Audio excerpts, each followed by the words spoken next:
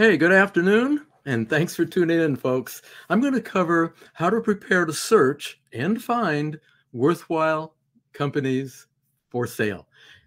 And here's a big tip it's the bottom line prepare yourself first, or later, expect to pay more and risk more.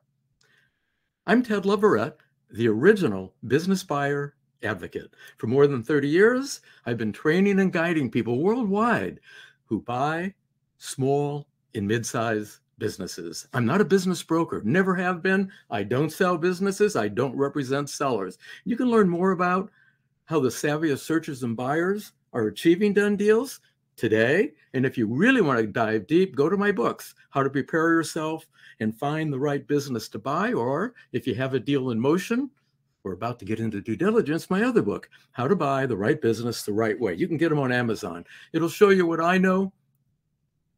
And we're going to now begin highlighting that. Folks, beware the aha moment. If you want to buy or sell a company, now what do I mean by that? Well, buyers and sellers, respectively, it's a good idea to expedite learning about what you need to know. I know most people think they know enough. I think by the end of my presentation and the others you've heard in the last couple of days, I'll bet you you found a few things that you didn't know. One of the things to really pay attention to is the reasons why people want to sell a business or purchase one. It's the big why question. Another thing you want to keep in mind right from the get go, buyers and sellers, is the computation of profit, you know, the adjustments and the other stuff that goes on so that you can hang your hat on well, is this place making any money? And really important because it's going to affect your search and your offering. How about the multiples that people are using to arrive at asking prices and the offering prices? Keep this goal in mind. We want to move forward with an LOI, letter of intent, or let's say you're in England uh, or maybe Australia, heads of terms. Okay, look, here's the deal time and generalized conversations are like the saying familiarity breeds contempt. And it's it's not so much that that people begin to dislike each other, although that sometimes happens, but it's scary to sell and buy businesses. And the more time buyers let sellers think about it, the more likely the seller's fears will increase. And that may cause, well, the owners, the sellers, the business brokers to have their aha moment. And what is that aha moment? that aha moment is hey, maybe we ought to get some buyer competition. We on the buy side, uh, we don't like that. So, sellers, but don't forget, competition goes both ways. well, well, you're delaying us. Guess what? We're looking at other deals. And that's what today is all about trying to prepare so we have more opportunities than we can handle. Look, searches and buyers, unless they're really stupid, won't sit on the sidelines. Just, it's just stupid. So don't do it. Savvy searchers always have pending at least two worthwhile deals. If you're not doing that, you are going backwards and your competition is getting in front of you. And it's no fun if you're trying to buy a business one step at a time, let's say serially, uh, to put days, weeks, months, or years into a transaction that falls apart. Then you get to start all over. So when we're searching, we are searching concurrently all the way until the day of closing. And I mean the day of closing. Why? Because those of us who have been around have seen deals crater at escrow.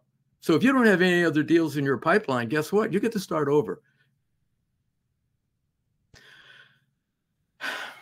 You know, I know. Let's. this reminds me of a story. Two two guys are, are walking through the jungle when a lion appears on the path.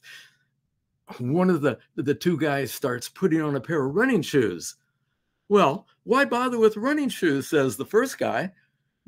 There, there's no way you you can outrun a lion. Well, who said anything up about outrunning a lion? Says the second guy. I just want to outrun you. you know, that story is what searchers and sellers are up against. It's the competition. that they're both facing. Okay, so what are you up against? Well, first of all, expect a lot of surprises. They're going to, well, they should change your perception as you're going along, and and can and, and they can even increase your opportunity. You know, one of the notes I'm looking at that I made to myself is people wanting to buy businesses. They're facing what appear to be insurmountable obstacles. And you see this if you're following people searching for businesses to buy. There's a whole lot of whining out there, complaining, disappointment. Hey, that's normal. So get over it. What are some of them? Well, I'll give you four or five big ones ignorance, the ignorance of searchers, the ignorance of sellers, hey, the ignorance of business brokers, the ignorance of, uh, well, advisors. These are all people who are making it more difficult for buyers and sellers to what? Have a meeting of the mind. The other one is buyer competition. That's just huge. I'm going to say that probably eight times during this presentation. If you write anything down, write this down. Learn to avoid or best buyer competition if you want to buy the right business the right way. You know, the other insurmountable obstacles that we have to go through or go around are, well, business brokers. Later, we'll talk about that one. And the other problem we all face is illegitimate seminars and experts. Look, I'm the guy who decades ago dreamt up this whole niche called business buyer consulting, and I've trained 298 lawyers, accountants, bankers, and other kinds of consultants who what help buyers go through the thicket to get a done deal these illegitimate bozos out there, they're reading my books, they're reading other books by other people who know what the hell they're doing. They come to programs like this, they pick up some sound bites and they spit them out on social networking. Don't fall for that crap. You can go to my uh, YouTube channel and you'll see a sizzling interview I did with somebody where we we kind of stripped some of these illegitimate people. But that's a big obstacle, and but it is insurmountable if you just ignore them. And and the final one are just the poorly prepared and the unrealistic sellers. Now, sellers, don't get mad at me yet because I'm going to show you a whole lot of stuff you can use to screen buyers and get done deals. Okay, let's just see. I think I can switch the slide. Okay, I did it. Take a look.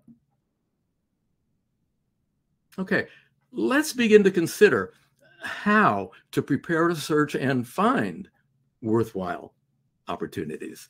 And let's begin with reality. Most searchers give up trying to buy a business.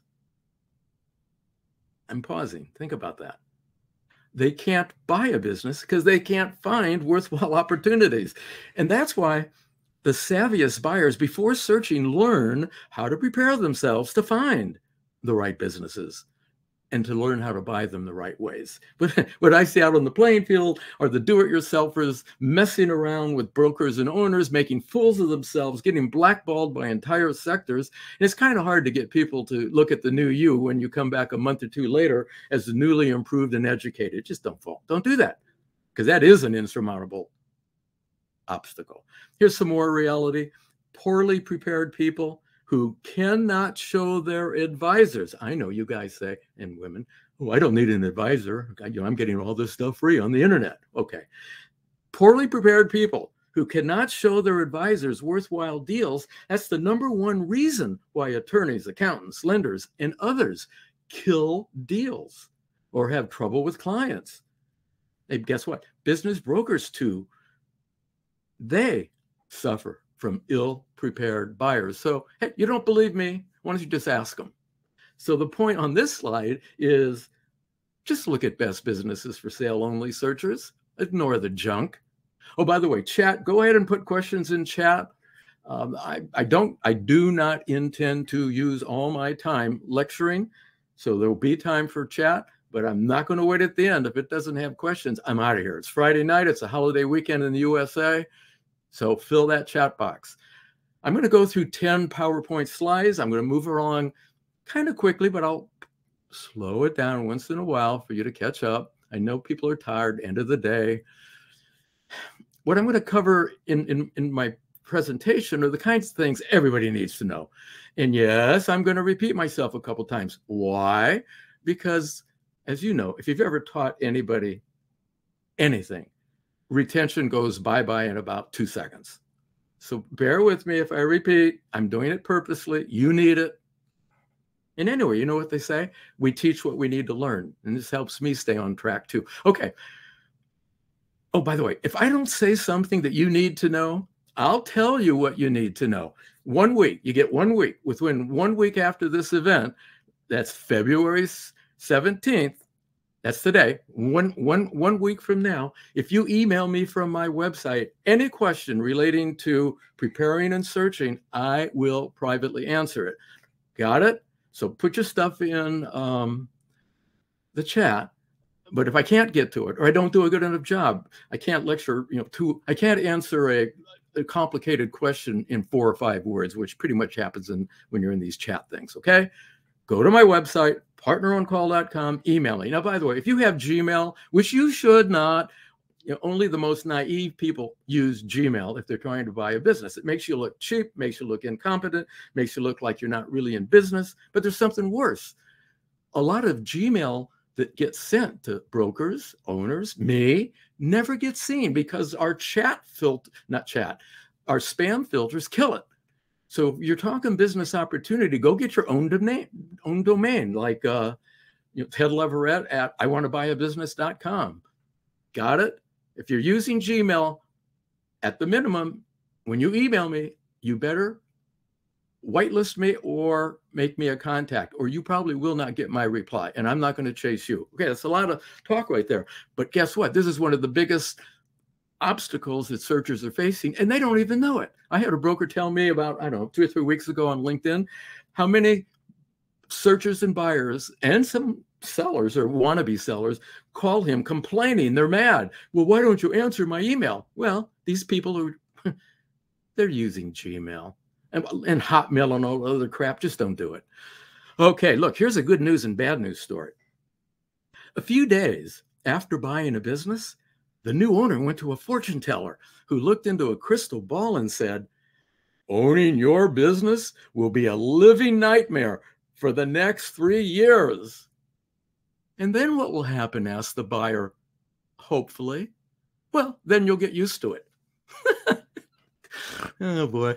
Uh, you, know, the, e- the easiest and the best way to avoid buying a loser is to get access to lots of winners, especially while avoiding buyer competition. I'll say it again best business for sale only. Okay, more reality, Business mistakes that buyers make are errors of omission, not knowing what to do. And you know what? Even people who know what to do sometimes do the wrong thing, especially if they have a bad case of business buyer fever. That's wanting a particular business so badly, they suspend their common sense you know, it takes two things to succeed information and experience. So, wannabe buyers can gaze into a crystal ball with wishful thinking, or they can learn what they need to know before showing what they don't know on the playing field. Okay, folks, lots of books on buying a business. Probably you've read some of them. I hope you read at least my How to Buy the Right Business the Right Way, book. Um, but there's only one book that's written for search. Why? Why did I write that book? Because you can't buy the right business if you what? Cannot find it. Whoops, I hit the wrong button.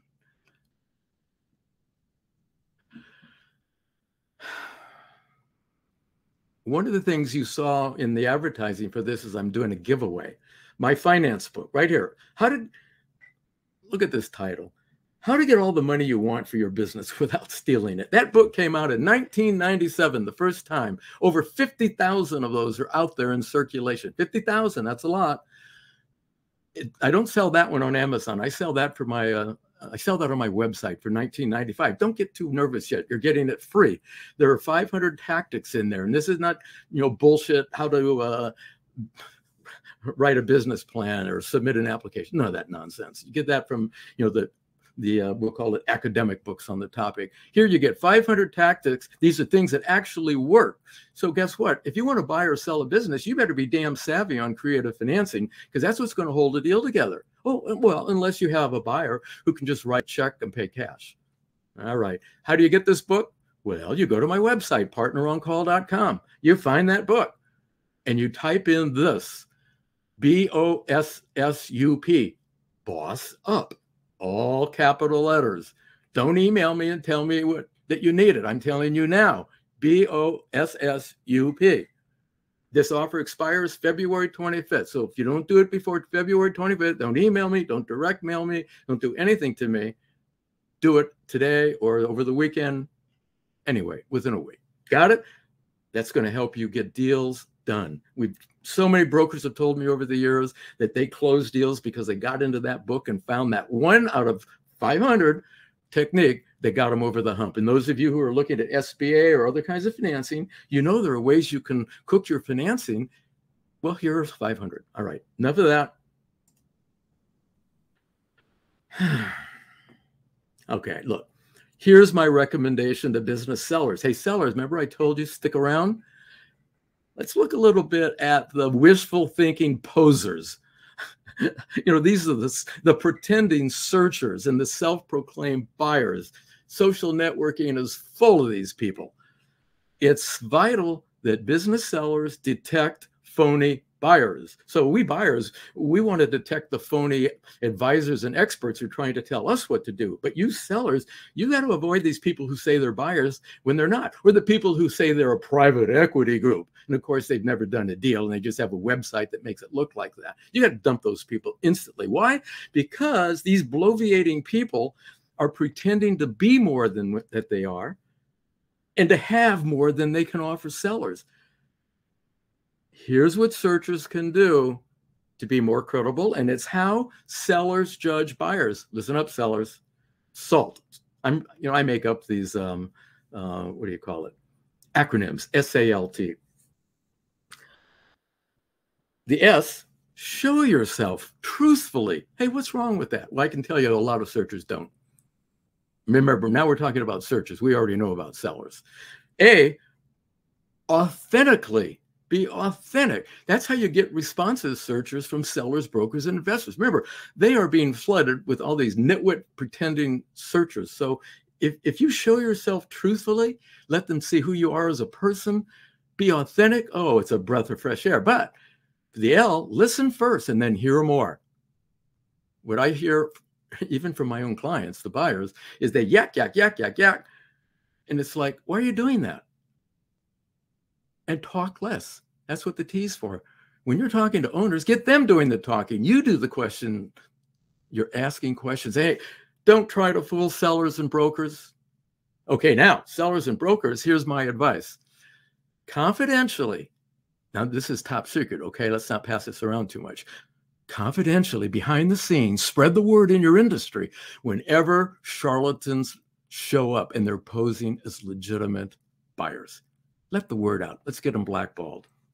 Now, the good news for searchers is most of the people that you're going to love this one, searchers. The good news for searchers is most of the people looking to buy a business don't have a clue about how to do it. And that's why you've heard, I don't know, 75, 85% of the searchers never make offers. Well, they might make offers, but but they don't complete deals.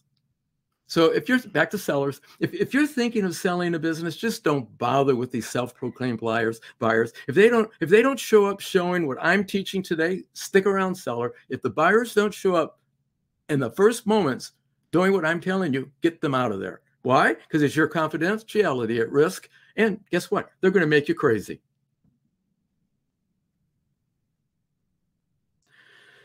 Well somebody said to me, Could you just say this in a few sentences? Okay, I will. This is for searchers. Um, what does it say on the? Yeah, everything you need to know to buy the right business the right way, comma, sooner. Here we go. Buying a business is all about search because if you can't find it, you can't buy it. And it's about being best and first first on scene with sellers. and being the seller's first choice and top of mind for brokers and sellers. And most importantly, avoiding buyer competition. There you go, eight sentences. Now, what about having to compete with other buyers? Well, guess what? You have to outbid them. Basically, you have to outbid the most ignorant buyer because they're the ones who are going to offer what? The dumbest terms that you have to get dumber on if you want to buy a particular business. This is why we're going to later talk a little bit about how you avoid this competition. Okay, so look, how, one of the ways you, you can avoid this buyer competition is to what? Go to the hidden market, or some people call it off market opportunity. These are the businesses that are not for sale, the ones that could be if you properly, if you, searcher, properly approach the owners and boy, if you don't properly approach them, there's a good way to get blackballed by an entire industry because you don't want Mary Lou, the receptionist working for the company you want to buy, to spread the word that the company is for sale when in fact it's not. And the owner hasn't even thought about it, but you made some naive approach where she tells everybody. And guess what? She might not even pass you on to the owner. So you got to make that approach correctly. Now, look at if you cannot avoid competition, well, beat them. Or as I say, best them. And how do you do that? Okay, it's not a rhetorical question. You do it with a winning business buyer marketing plan. That's what I help my clients do. I don't work for anybody unless we do this first, because if we don't do this first, all the other stuff I could teach you in my books about finding deals, doing deals, it, it may not work because we got to be able to get to first base, and that's being credible and first choice. Okay. Well, there's reality, folks. Too many people buy the wrong business or they buy the right business the wrong ways. We're going to do a lot of recognition of reality. Here's another one. Beginning with what buyers are up against and how they can be taken seriously. Focus your search on mature, profitable, fairly priced businesses having sustainable competitive advantage. That's the key. Hey, look at if you love business buyer competition and you're a business seller, hooray for you. Hey, let's celebrate.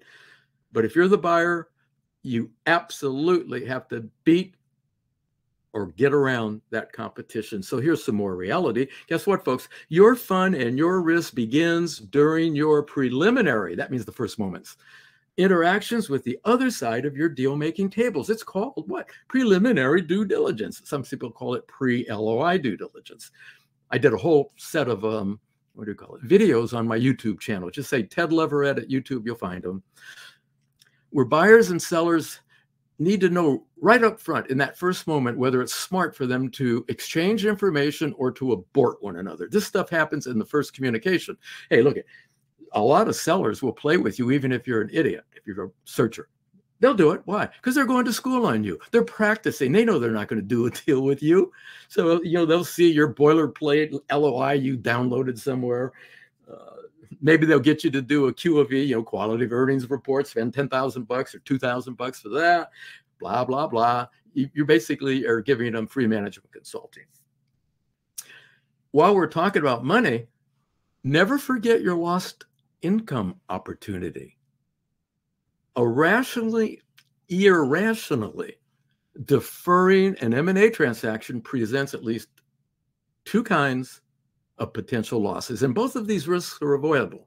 One, missing out on the best opportunity that you're going to get, either the best seller or the best buyer right in front of you. Mess it up in that first couple of interactions, game over, start again. But here's the second one that causes lost income opportunity.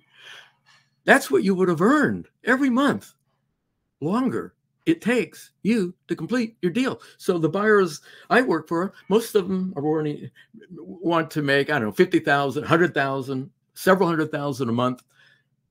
If let's just say it's um about just because it's a round number, 100,000 a month. Well, if they if they if they are um, what just messing around out there, a week is 25,000 bucks. A day is 5,000 bucks. An hour is what? It's a lot. now that hidden market I mentioned, that's where up to 80% of the mature, profitable, and fairly priced small and mid-sized companies are quietly for sale by owner. Few of those owners are advertising their business for sale. That's why when you go to the online venues, you don't see too many of them, if any and particularly in the niches you may be looking for. Now, some of these winners are not yet on the market, but they and other sellers, they want to safely meet qualified buyers. They qualify you in the first conversation. Okay, I said it now three times. Few of these owners will admit they're for sale to buyers they don't know.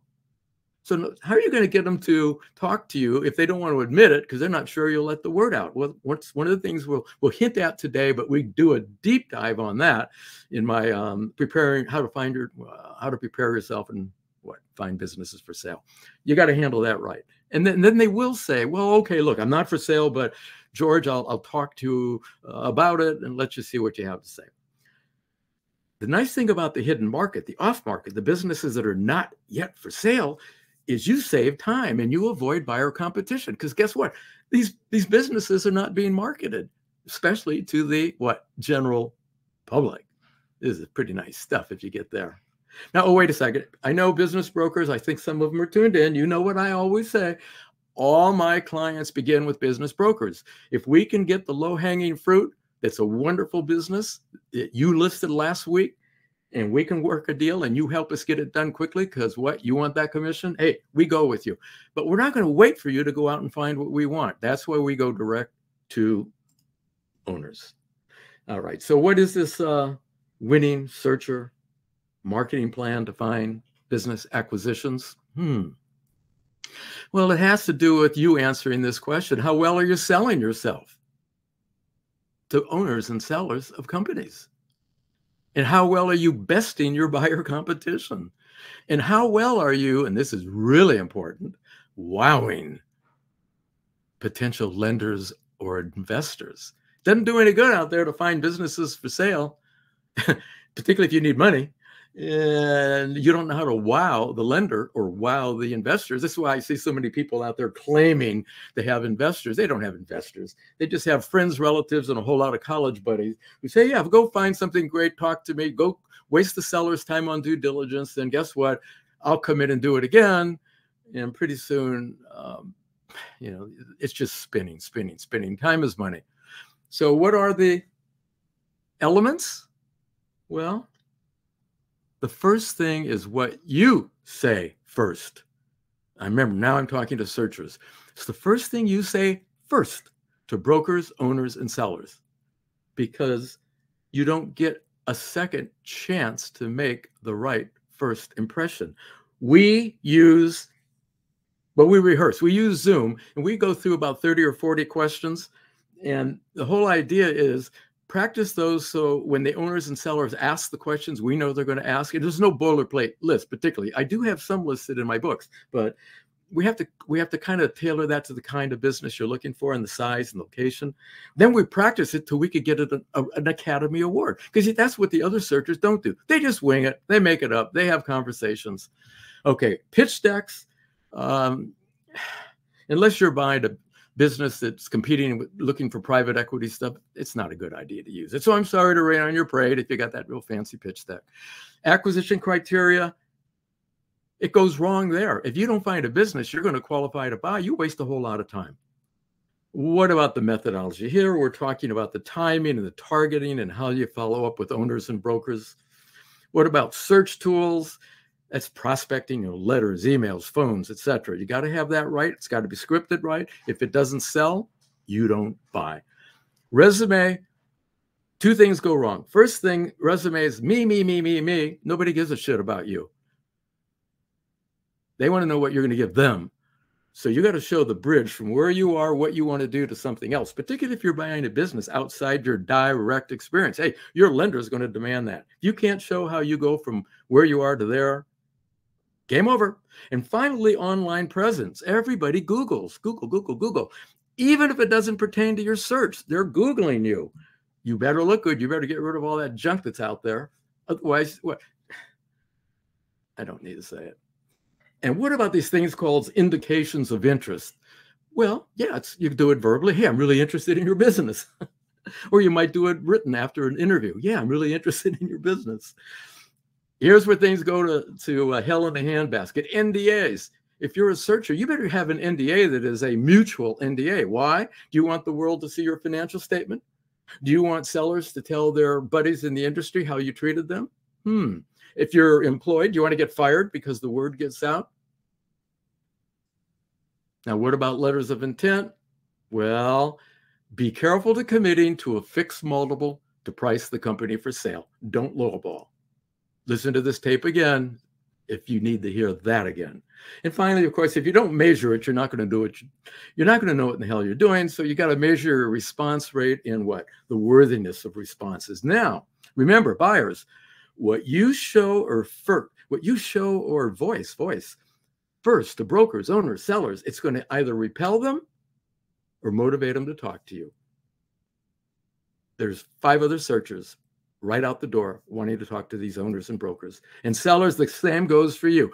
Don't show us these poorly written or misleading what CIMs you know confidential information memorandums or whatever the hell you call them okay moving right along. Hey how about this one? Buyer competition you better write this down. Buyer competition is responsible for more bad deals than seller misrepresentation or lousy businesses competition forces most searchers to unsafely expedite the process of evaluating and negotiating the purchase of companies. Few searchers know how to adequately value small and mid-sized businesses. Most searchers don't hire or properly deploy a competent advisory team. First impressions matter. I think I've now said that five times brokers and sellers, hey, because of their confidentiality and the operational and other reasons, are simply not interested in interacting with searchers who what don't upfront convincingly showcase their value. And those are the reasons why the poorly advised and the poorly prepared buyers outbid their most ignorant buyer their buyer competition. Hey, what what about selling a business in a seller's market? I know the brokers out there are still saying it's a seller's market. Well, it can be, particularly in some sectors. So who's selling? Who's selling whom? Sellers and brokers have to be sold on you if you want a chance to evaluate opportunities, maybe to make offers. It's all about selling, isn't it? Another question you better be thinking about, because again, the brokers are telling people values are increasing. Well, is it the values that are increasing or is merely the pricing? uh, yeah, there are a whole lot of businesses out there that got pregnant with profit during COVID and thereafter. And if you're looking at the comps in the databases from a year ago, oh, you're using these various multiples. Well, guess what? They're all overpriced. All of them. All of them. And don't forget what interest rate, cost of capital. If interest rates doubled and you're paying multiples from a year ago, well, that's about as naive as you get. Do not catch buyer fever. Buyer fever is raging now. Look at all these layoffs. Where do you think some of these people are going that have been making money? Looking, well, they're out competing with us. Ignorant buyers are making bad deals.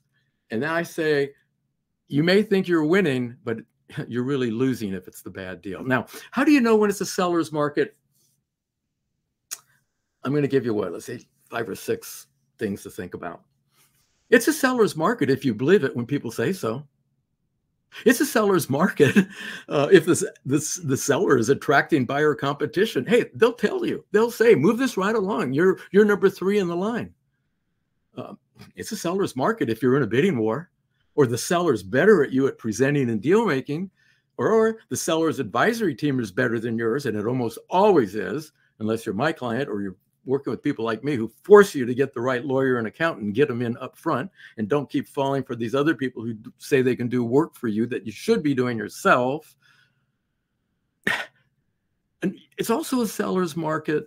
If the company wouldn't hire you if the advertisement was we're looking for a president or a general manager if they wouldn't hire you but they're willing to sell to you you better have a damn good story and really be able to back it up with how you're going to go from where you are to where you are. Otherwise you're being sold What about the bubble? Well, you know, there's sort of a real estate bubble, and there's definitely a bubble in, in business uh, acquisitions. we don't want it to burst on you. Right? Keep in mind, there are a lot of businesses coming on the market or on the market because sellers are reading the newspaper and they know that interest rates, rising labor costs, rising materials. What is it? Whoops. What is this going to do? It's going to increase their costs. And what's that going to do? It's going to reduce their profit. So if you're doing a multiple on yesterday's profit and tomorrow it's cut in half or goes bye bye because of rising interest rates or other costs of doing business, namely employees, go to my YouTube channel, Ted Leverette, YouTube. I did a whole series of podcasts on employees are the biggest risk if you want to buy a company. Hey, by the way, they're also the biggest risk if you own a company. Pretty good idea to start there if you're thinking of buying a business or selling it, because you got you got to have a story that helps you explain why your employees just aren't going to want a better cut of the action. Be careful these so-called business appraisers and brokers I mean, brokers do have to do a little bit of valuation work to get a listing, but they're not appraisers. So you got to get that right. You absolutely have to get it right, or you're going to end up overpaying and you're going to rely on a so called expert. Give you a little tip off. We don't give a shit what appraiser says. We're looking at return on investment and cash flow. And we want to see just how badly we could try to wreck this good company and still make it survive. And if it passes our doomsday testing, who cares what the what a comp says or some appraiser says? It's a worth it's a deal worth doing. But if it can't pass that, if it cannot pass that stress testing, well, we get out of there. Yeah, it can take longer to find a business, but guess what? We don't blow our net worth and we don't get divorced and we don't have nervous breakdowns when things go wrong. So, folks, do not ignore the labor market. Disgruntled employees are causing trouble. It's in the newspaper every day. Okay. Oh man, don't make yourself and everyone else crazy. Please hire advisors with a proven history of working for buyers and sellers of the kind and size of deal you intend. Not the Wall Street guys and not the people buying hair salons. Depending on the size and kind of business, that's the advisor you want. Now, how do you know if they're any good? Well, ask them. Say, in fact, why don't you write it down? Say, how have you facilitated deals that should occur or did occur? If they can't tell you a story or two, they'll fall for bullshit. Hire deal makers and deal closers. Guess what? Avoid advisor advisors, advisors. Don't, I mean, avoid advisors who don't know enough about deal making for small and mid-sized companies. This happens all the time. And you know what happens? Not wanting to make mistakes. These posers are more likely to poo poo good deals or worse, bless lousy deals. All right, look, let me, I only have two slides. We'll go to Q&A. See that? That's called the fork in the road. See, wait a minute. I'm not done with that. That's called the fork in the road. Why is it a fork in the road? You see all that buyer competition? These are all those people out there copying and emulating one another, helping one another compete, um, then competing with one another, and they're all chasing the same kinds of deals, offering the same kinds of uh, oh boy, marketing of themselves, etc. And guess what happens? They they delight sellers and brokers. Yoo-hoo! But the bad news is, once it comes down to actually bidding well, the dumbest buyers can win. So what I'm hoping you'll do is take the road to the right. We're out there by yourself in search. There are no other buyers around you unless you take your time and that brings them in. And when you're working with brokers, hey, they will let you be first in line if they know you're going to do a deal. But if you screw around with them, they won't. They don't need you. No broker needs a particular buyer, period. That's why we go to the hidden market too. Okay. Before we get to Q&A, how does this thing work? Got it. Stay in touch. Go to my website, email me from the website, get download that um, creative financing book. I'm trying to bring up stuff today that to cause you to think a little bit deeper. But let's not let our conversation end here. We can privately Zoom. I can help you get better results. Go to my website, partneroncall.com. Hey, I can help you deploy. Hey, how do you think I get clients? Nobody hires me unless they read my books. And that's why they hire me. I then help them deploy the tactics. I'm Ted Leverette, the original business buyer advocate. Thanks for listening. Be careful. You want to go to Q&A? Let's do it. Can I get rid of this? I think I, oh boy, hold on. Try not to sign myself out of this. I've never used this particular venue here, folks, so it's all alien to me. Okay, I'm right at the, let me go right to the top. Hello, Ted. Hello, Ted. La, la, la. Better stay. Need to set up. Oh, yeah, yeah. Yeah, somebody said be sure you set up your own name to inc increase uh, deliverability. Absolutely. Oh, look, and I started my closing remarks early because guess what? We got through it. Yeah, get your own domain. Uh, business plans, are a guess at best. Yeah, Paul. That's why we focus on cash flow. Those of you who have been following me, you know how big I am on cash flow. Hey, what are you really buying when you're buying a business? You're buying cash flow, period. But where does the cash flow come from? Employees. Can you say why we're paying attention to employees? Employeeing. Okay, oh yeah, how do you tell the difference between a seller who's genuinely interested in selling versus just shopping around? Get them to a letter of intent. If they're giving you the green light you want to hear, slap a letter of intent on them. Right there, they first of all they go, "Oh my God, what do I do with this?" So, unless they're really dumb, they're going to take it to their lawyer, and the lawyer's going to go, "Well, no, I don't like this whole idea because I'll be fired if you sell your business. You better so what I like to suggest to sellers when we give them a letter of intent is, you know, it's probably not a good idea to have the lawyer that's been your company lawyer for a long time, you know, your cousin or your divorce lawyer. Probably a good idea to talk to somebody who specializes in the sale of companies, because then when they see this letter of intent, they'll know this is how things progress. Now that lawyer wants to make money, so they're going to what? Try to see if there's a way to do a deal. Hope you're getting that. Take them out for some beers. All right, Paul, you're you're cracking me up here. what what is the recommended budget for buy side advisors? Hey, write this one down. Okay. How much can you afford to lose? Now, anybody's been asking that question. Ask they ask it everybody. For businesses that are well, uh, let's see. Michael says, say in the one to four million deal size. That means price. Oh, I think you're, it depends, you know, how smart you are, how much you have somebody like me on your team who are helping you do work. So before you bring in the lawyer and the accountant or any other, let's say specialist, we've, we've determined just about everything we need to know. And now we only need confirmations and we need a contract. So we don't bring in, like say, lawyers and accountants too soon. You your money go bye-bye real fast. Same with quality of earnings people. Bye-bye real fast. 10,000 to about 30,000 bucks is what you ought to ought to um, put in your hopper for everything related to accounting and that kind of due diligence, legal, etc. Then there are people like me. Um, if you shop around, you'll find that most of the people who are actually any good are earning from buyers somewhere between two and three percent of the value of the transaction that gets done. And you say, "Oh, well, that's a lot of money." Well, how much can you afford to lose? And I'll tell you what, you don't get somebody on your team, doesn't have to be me, but it needs to be somebody like me because the lawyers and accountants will milk you to death. Why? Because they can.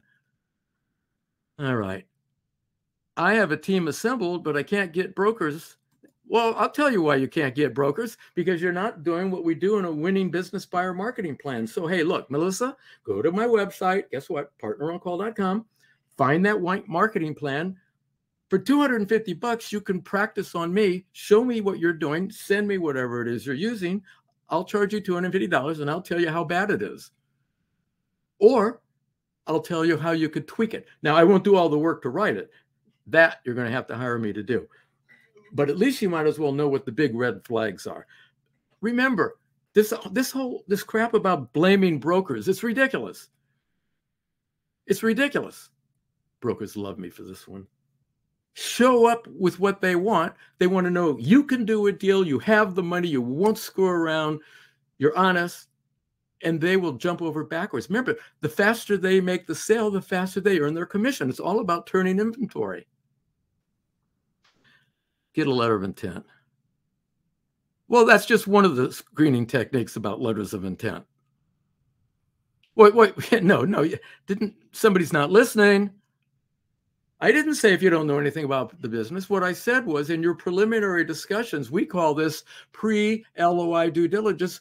Go to YouTube. I've given you detailed instruction on exactly what pre LOI due diligence is. You do that, just do it. That's when you submit the LOI. So some of us are able to get through that pre-LOI due diligence with an owner. Well, if there's a broker there, we can get through it pretty fast because they've already prepared the seller, hopefully. If there's no broker, well, it just takes longer. But you have to go through those motions. Otherwise, how in the hell could you what? Submit a letter of intent. So what I'm letting you know, get this right. Don't misunderstand me and tell everybody Ted says use wallpaper for letter of intent. Move them quickly because if you keep the brokers and the sellers focused on you, they don't have time to talk to your competitors. Keep them moving along, get the information you need, slap them with a letter of intent. If they're not for real, they won't sign it. If they are for real, they have nothing to lose. You know, unless you're making a bozo offer, then you know they might tell you to go pound sand. Bully your client works for me. This sounds like one of my clients. That's what they say to me. Oh my God. It's he's not. I don't think. All right. I'm about to walk out of here. It's Friday night. I got things to do. 60 more seconds. I'm gone. If there are no more questions, hey, hope you had fun. I'm having fun. 47 seconds left. Thank Nunzio for putting this show together. And, and thanks for letting me wrap it up. oh my God.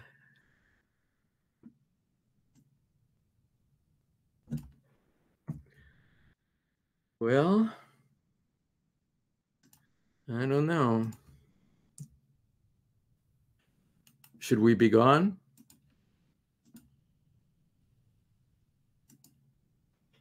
I think we are. Oh, yeah, the books. You wasn't listening. Okay. Guess what? Go to my website, partneroncall.com. It lists the books. Look, there they are on this screen. The first two are sold on Amazon. Go to Amazon, type Ted Leverette in.